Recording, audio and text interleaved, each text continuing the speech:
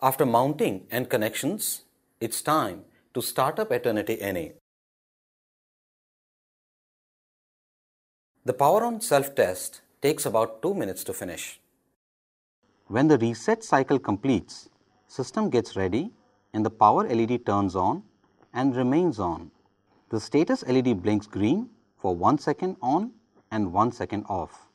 Now, the default extension number, date and time of the system will appear on the displays of the DKPs connected. Next, I'll show you how to connect a PC to Eternity NE for system configurations and several other functions. You can connect a PC to Eternity NE either directly or through a LAN as shown in the following diagram. To connect Eternity NE directly to a standalone computer, connect the Ethernet port of the Eternity NE to the Ethernet port of the computer.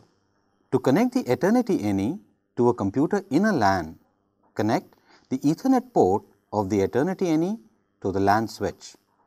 So now it should be clear to you how to connect a PC to Eternity NE. In this film, you've learned how to execute the complete installation of Matrix Eternity NE. I'm sure by now you're feeling confident of undertaking the task independently.